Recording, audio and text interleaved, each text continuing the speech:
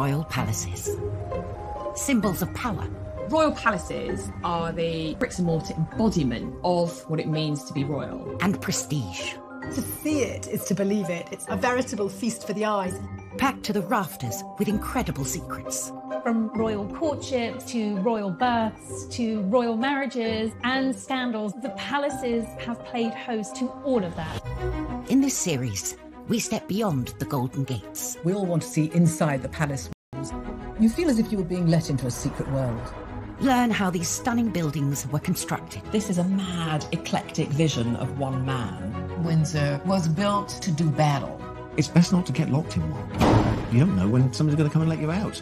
Unveil their spectacular artworks. The Royal Collection is simply stunning. The story of the tiara is like a spy mystery. We can only imagine how excited the Queen must have been. Delve into their gruesome histories.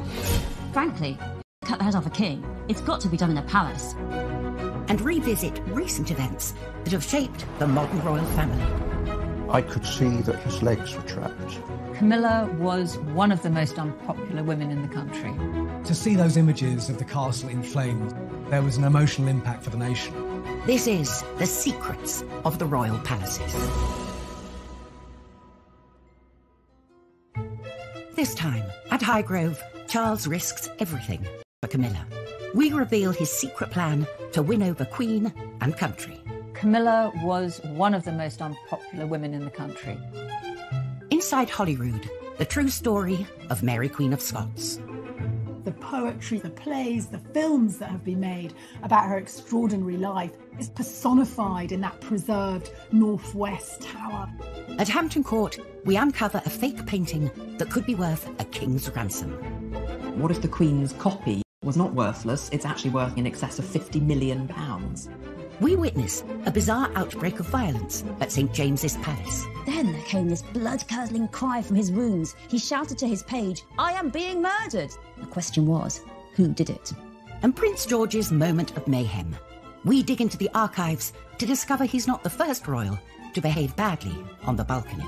History was repeating itself, and it was around 30 years before that Harry was seen on the balcony doing exactly the same thing to his cousin, Princess Beatrice. Royal family have a palace for every occasion. Windsor, a castle steeped in a millennium of royal history, still in use today.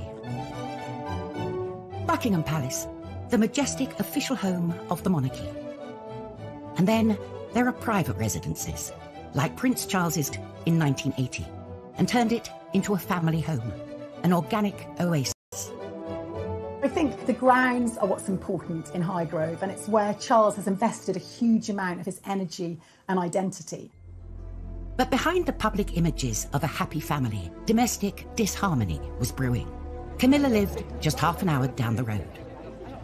Camilla Parker Bowles was famously the other woman, a woman of whom Diana said there are three people in our marriage, so it was a bit crowded. Camilla was this scarlet woman that pretty much the whole nation hated. When Charles and Diana separated, Camilla quickly became a regular at Highgrove. Charles's public affair and messy divorce had damaged the monarchy. And following Diana's tragic death in 1997, the family hit a new low. People were devastated by Diana's death, and they blamed Camilla.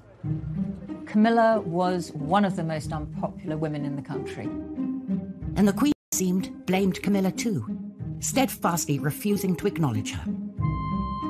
The Queen was distancing herself from this woman to protect the integrity of the crown and to support the throne. She was a dangerous, destabilizing influence on the throne. And so started a tale of two palaces at war over this one seemingly irreconcilable issue. At Buckingham Palace, the position was clear. Camilla was not welcome. But at Highgrove, Charles was determined to follow his heart. A rift developed that threatened the future of the monarchy. Camilla was, as he famously put it to one of the Queen's aides, non negotiable. Charles hired a new PR guru and embarked on a mission to change public perceptions. Outdoorsy Camilla was given a fashion makeover. She started to wear skirt suits. Her hair was styled. These small things just began to build this image of an appropriate royal companion. Charles began to be seen out with Camilla. The tide of public opinion was turning, but the palace would not be so easily swayed. There were some quite senior figures at Buckingham Palace who wanted no Camilla at all, ever. It was absolutely vital that his mother should accept her, and it was also absolutely vital that the British public should accept her. A full blown constitutional crisis was brewing. In 1998, Charles's 50th birthday became key. A number of events were planned, and the guest lists would be telling. Up first, at Buckingham Palace, a formal reception hosted by the Queen. But Camilla was excluded. If you're not actually married or at least engaged to someone, they're not generally invited to big royal family events. Everything at that time was viewed by Charles as a snub. They viewed any setback with considerable hostility and they blamed it on the courtiers, the people around the Queen, who were unprepared to change. Then at Highgrove, on Charles's actual birthday, there was a private party. Camilla, by now very much at home there, played hostess. The Queen and Prince Philip stayed away. I think the fact that the Queen didn't go is quite significant. She felt she was being boxed in and pushed into something by Charles's media handlers. She knew at some stage she and Camilla would have to break bread, but it was too soon. It's been said Prince Charles was particularly hurt by the Queen not attending that party. Charles was desperate to break the deadlock. He wanted to engineer a meeting away from prying eyes. Highgrove would be the perfect location if he could get the Queen to accept. Two years later, he saw his chance. In 2000, Charles held a birthday party for his cousin, King Constantine of Greece. And he invited the Queen. He also invited Camilla, and the Queen knew perfectly well that Camilla would be at the party. It wasn't at Buckingham Palace or Windsor or Sandringham. It was at Charles's favourite place. The party was to be at Highgrove, where Camilla was by now completely at home.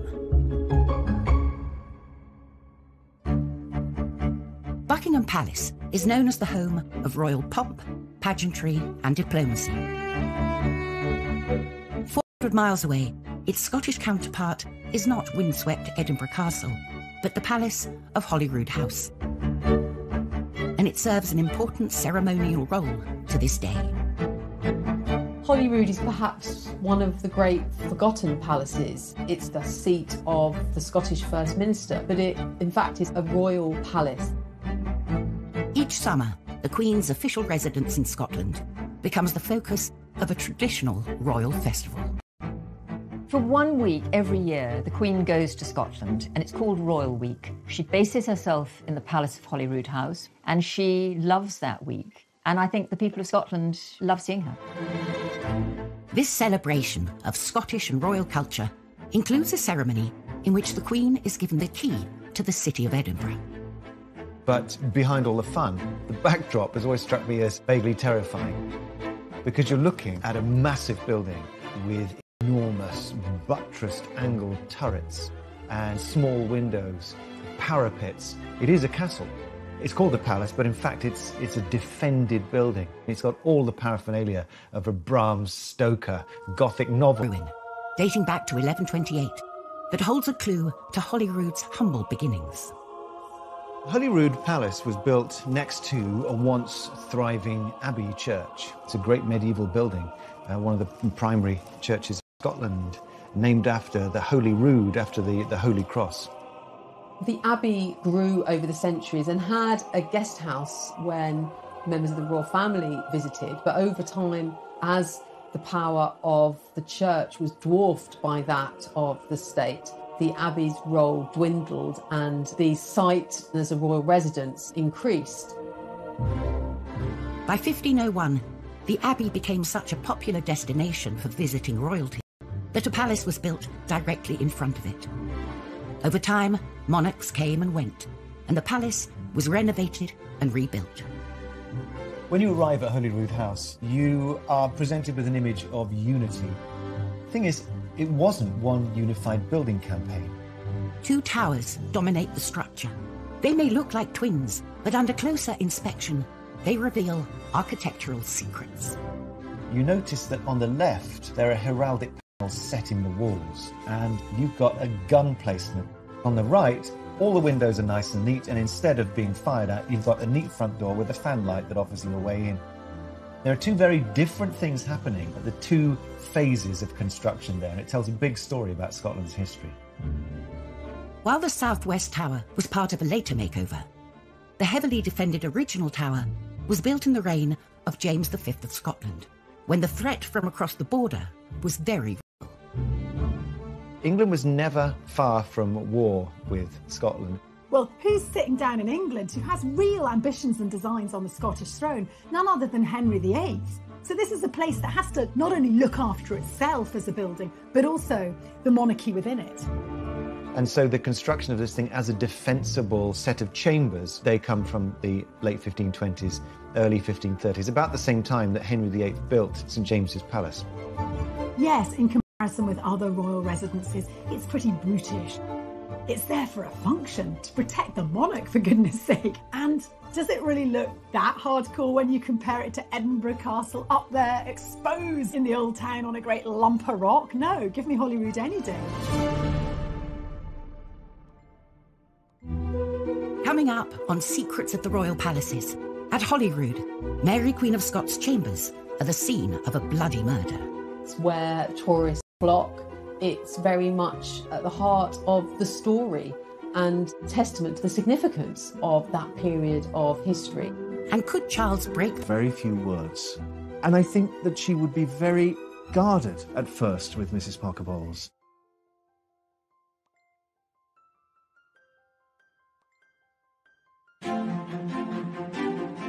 Britain's famous royal palaces bring in almost 3 million visitors from across the globe each year. Along with favourites, Buckingham Palace and Windsor Castle, Holyrood in Edinburgh is among the most popular royal palaces. Holyrood House, the Queen's official residence in Scotland, has one of the bloodiest histories of all palaces, and that was because of the reign of Mary Queen of Scots. The oldest part of the palace is the 16th century Northwest Tower. Here, up a narrow winding staircase, are chambers that still hold Mary's secrets. Mary Queen of Scots is one of the most infamous Scottish figures and probably the most famous Scottish queen. The poetry, the operas, the plays, the films that have been made about her extraordinary life, but it's sort of personified in that preserved Northwest Tower. Original features, like the ornate oak ceiling, survive from Mary's torrid time here. Now, Mary Queen of Scots, she really chose some of the worst husbands in royal history. I know there's competition, but she chose some baddies. Following the death of her first husband, the young King of France, Mary married Lord Darnley and fell pregnant. But Darnley was not to be trusted. Lord Darnley, almost as soon as he married her, started turning against her, plotting against her, and really trying to seize power from her. One of the defining moments of her reign is this cold blooded murder instigated by her husband, Darnley. 8 pm, Saturday, the 9th of March, 1566. Mary was dining in her chambers with her ladies and her private secretary and great favourite, David Rizzio. You know, she was heavily pregnant. Then suddenly, Darnley and loads of Scottish lords break into Mary's room and they seize Rizzio.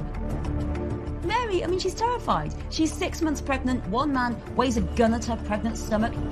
Darnley and the lords are jealous of Rizzio. They drag him away from Mary. In front of her eyes, he's murdered by not just one or two, but 56 stab wounds dragged across, I think, the bedchamber floor, tossed down the stairs. It was a red herring, the whole Rizzio thing. It was Mary they wanted. The Lords wanted to take Mary prisoner and steal power and put her baby on the throne. Mary is under arrest. Her beautiful palace of Holyrood that she has loved and decorated with her tapestries and all her furniture, it is now her prison. Eventually, Darnley relented and helped Mary escape.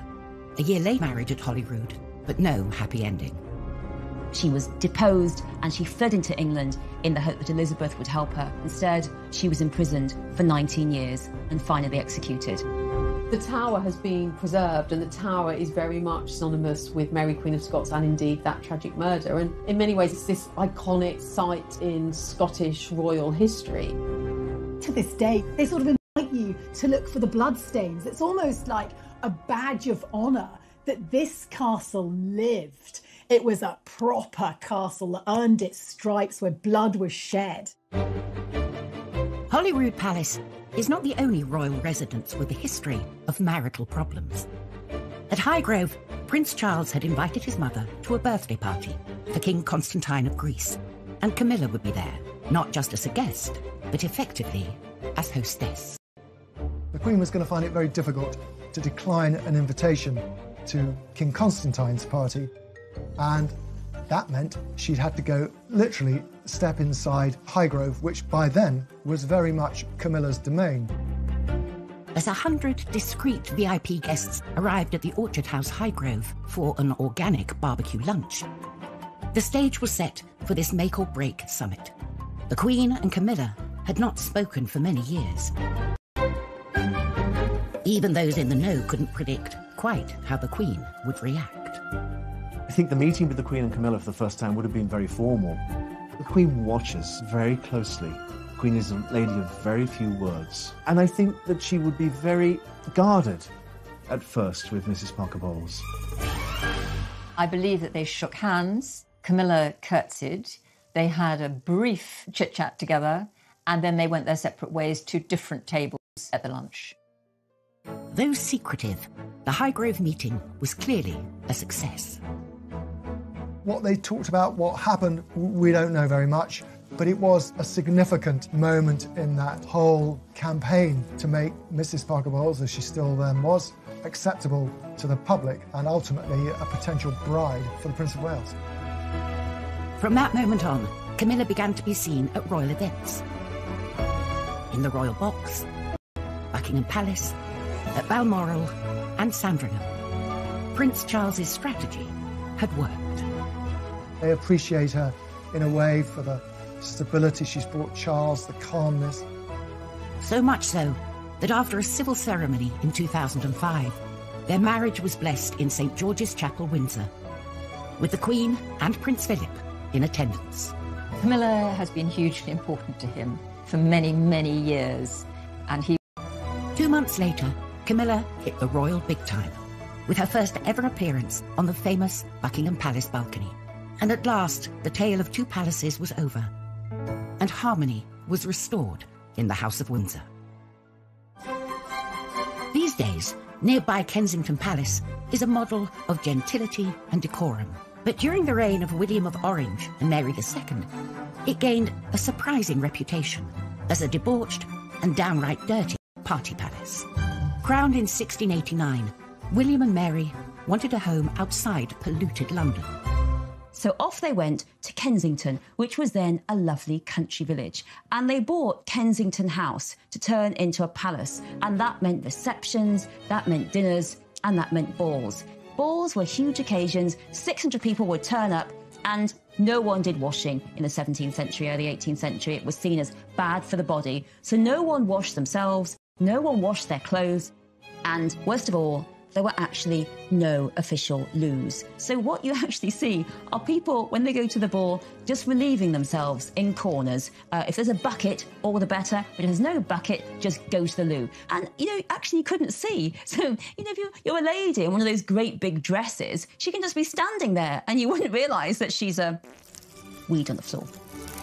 So William and Mary moved from disgusting polluted London and now they managed Kensington with the smell of everyone weeing at the balls.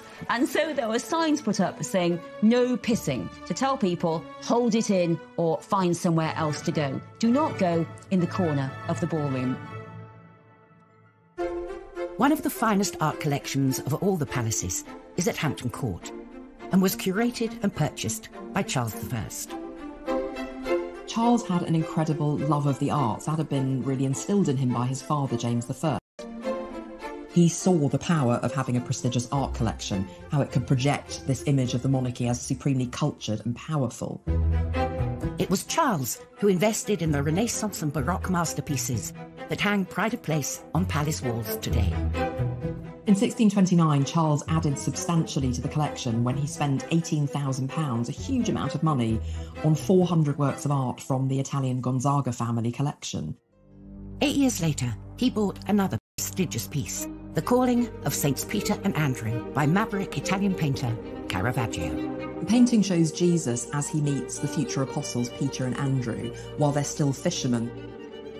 It's got those dramatic effects of light and shade, but also this is the moment of greatest psychological tension as the brothers are just about to decide to leave their life behind, drop their nets, and follow Jesus. Questioning its authenticity. Charles I bought this painting believing it an original Caravaggio, and perhaps because it was such a good picture, it was copied at the time. There are only 50 paintings surviving by Caravaggio, so for this to have been an original, it really wasn't felt that that was the case. The picture was dramatically demoted, and it was now thought to be one of those copies, and that view prevailed for about 350 years. For centuries, the picture lay hidden in a dusty storeroom in Hampton Court Palace. Until one day, something changed. The story goes back to 1987 when an Italian curator suddenly asked a bold question what if the Queen's copy was in fact the lost original? The painting was taken in for conservation work. It was very dirty. There were layers and layers of varnish that had built up. It took six years of detailed conservation work to find an answer. On closer inspection, evidence mounted. Could this be the lost original? Caravaggio was quite unusual. He would paint straight onto the canvas, but he would etch in an underdrawing. And as the conservators looked closely, they could see around the face that these etched lines were there. There's the speed and the confidence of the brushstrokes, which mean that this must be the real deal. It's got a real energy to it that a lot of his contemporaries just weren't able to match. This had to be a Caravaggio. The palace had unearthed a rare art treasure, and their findings stunned the art world. Suddenly, in 2006, there's a dramatic announcement. The painting really is by Caravaggio, and it's not worthless. It's actually worth probably something in excess of 50 million pounds. This was a really incredible discovery. It's the sort of thing that only happens once or twice in a generation. We can only imagine how excited the Queen must have been. The idea that a Caravaggio painting was hidden in plain sight is a dream come true. Coming up, we discover the mysterious origins of Windsor Castle's Order of the Garter.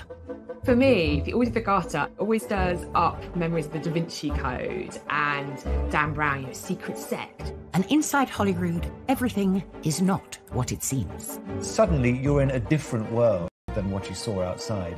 It opens you up to a world of 17th century confidence and extravagance.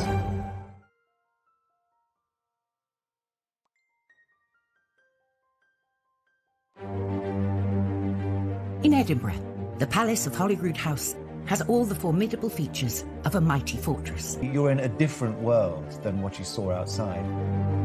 You go up an open well staircase.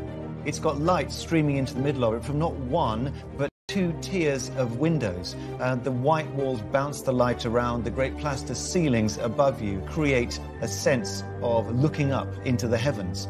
And the walls are lined with 16th and 17th century tapestries. They're rare and expensive things, and they tell you that you are past the point of defense. You have entered into the protected realm. It's a beautiful 17th century ensemble of rooms, as good as anywhere in Britain opulent interiors were born out of a period of great turmoil. Holyrood had been gutted by an occupying Republican army, led by one Oliver Cromwell.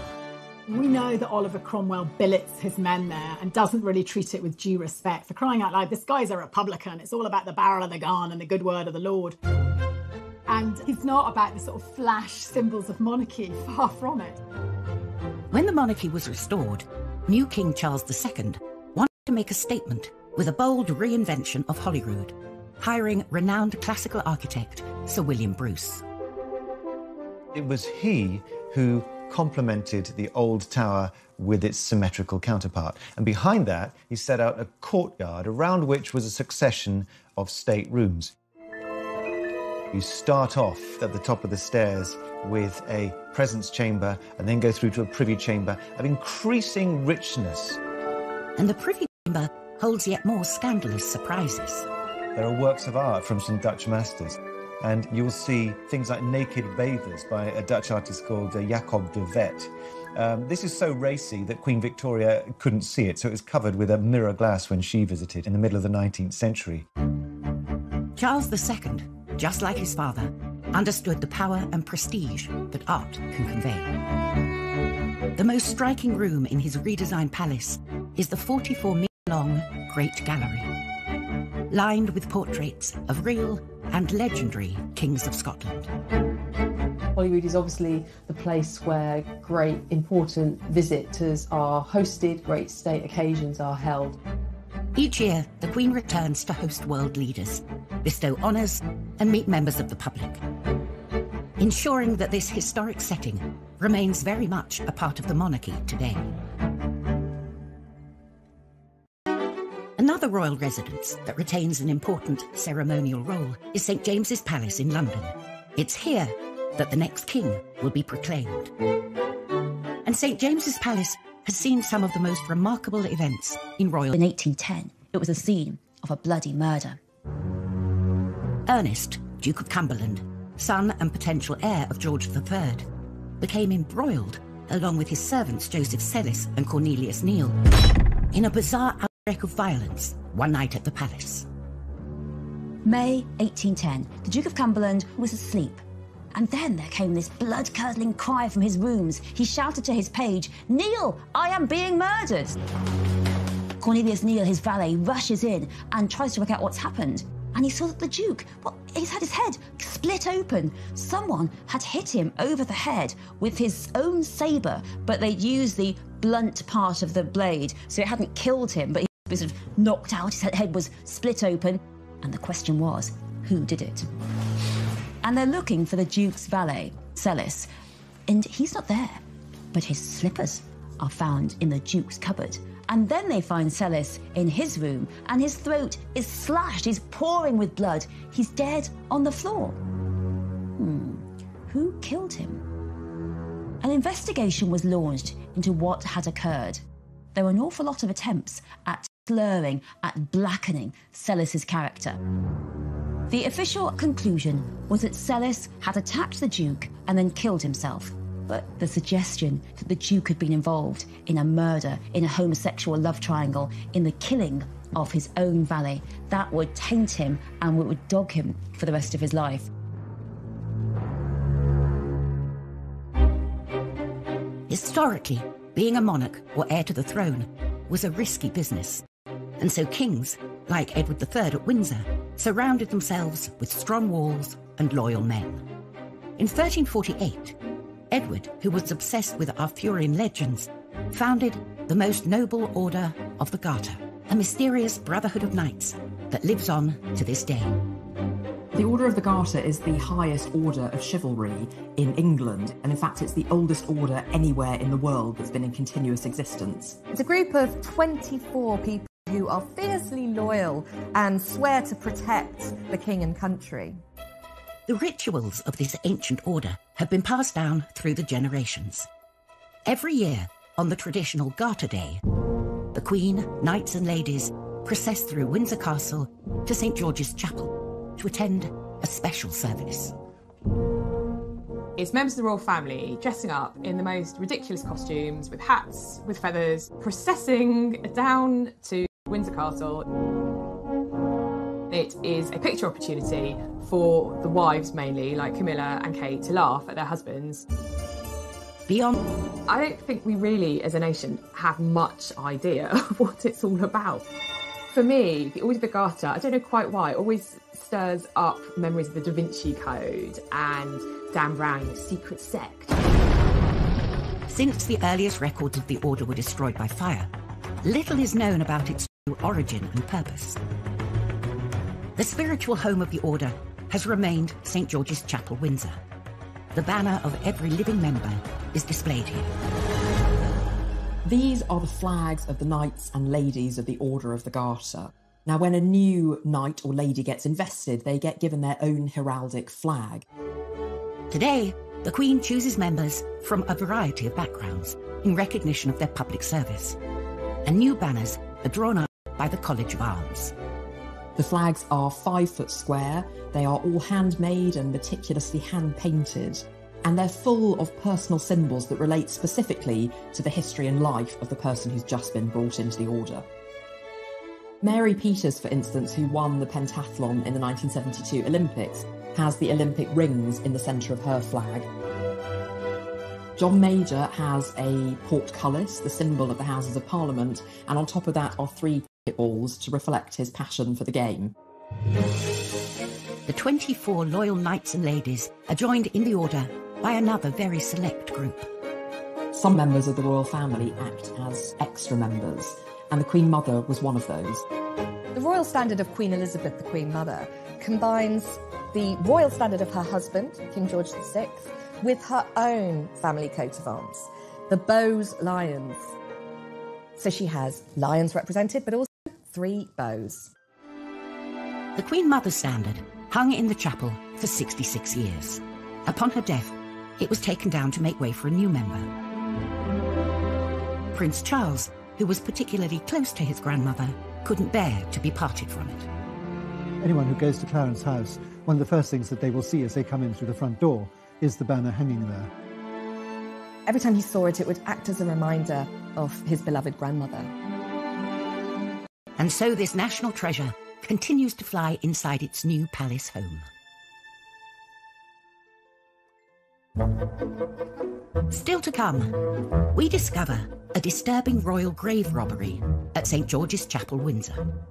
If you thought that the only tomb raider out there was Lara Croft, well, there's another one, and that was the Prince Regent, future King George IV. And we catch royal kids behaving badly at Buckingham Palace. George starts belting his best rendition of God Save the Queen. Suddenly, Savannah realises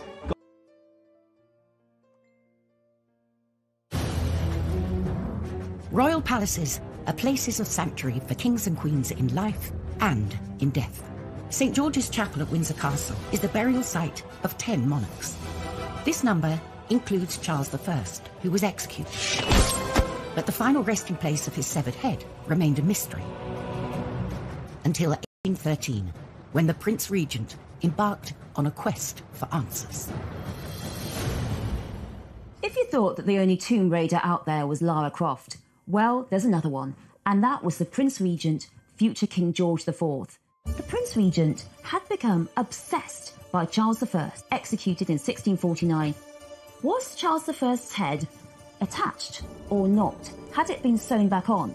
And this question became the equivalent of that crossword clue just can't solve. So the Prince Regent asks the royal physician, Henry Halford, to go down into the royal vault in St George's Chapel, Windsor, and look at the grave of Charles I.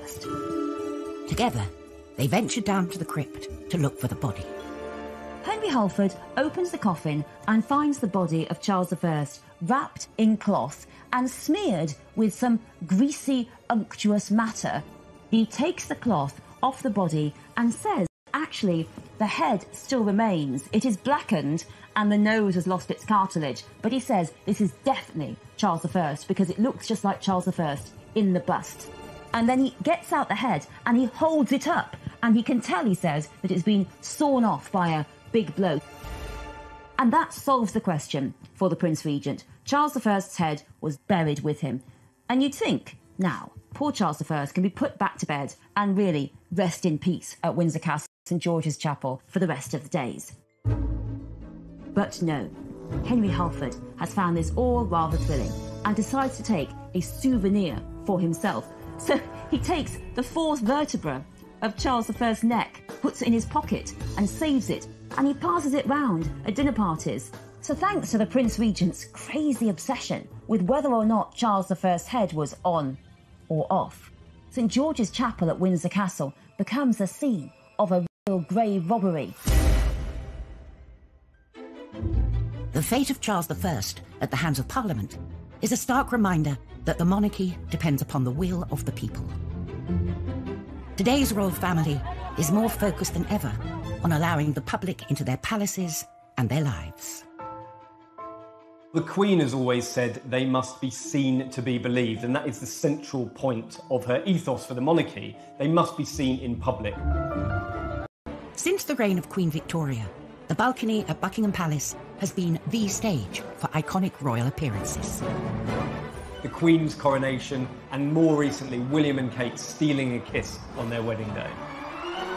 Not only is it a symbol of the British monarchy, it's kind of become a symbol for Great Britain itself. Such is the significance of this hallowed platform. Even palace insiders are in awe of it. I've actually been in the room where the balcony is. I find it quite daunting thinking how many royals have come into this room and walked onto that balcony. I will assure everyone that I did resist from kind of doing the, the kind of little wave when I was at the window, even though I wanted to. Being up on such a stage is the ultimate test for any royal, especially the younger generations. Of course, the balcony had one of the shots uh, of William and Kate's wedding, and I'm not talking about the kiss.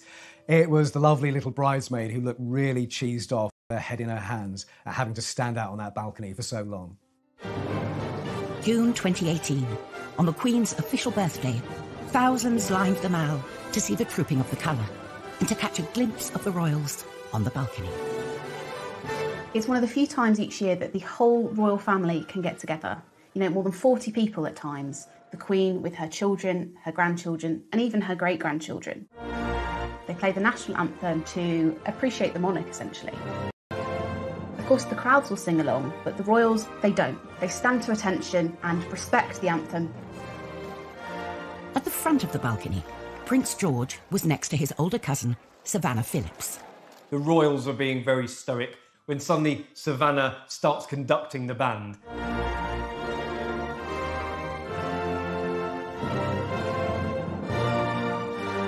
Suddenly, George starts belting out his best rendition of God Save the Queen. Prince George started to sing along. He's clearly been learning the words. Suddenly, Savannah realises, gosh, we're royals. We shouldn't be doing this. She knew that actually the royals don't sing along.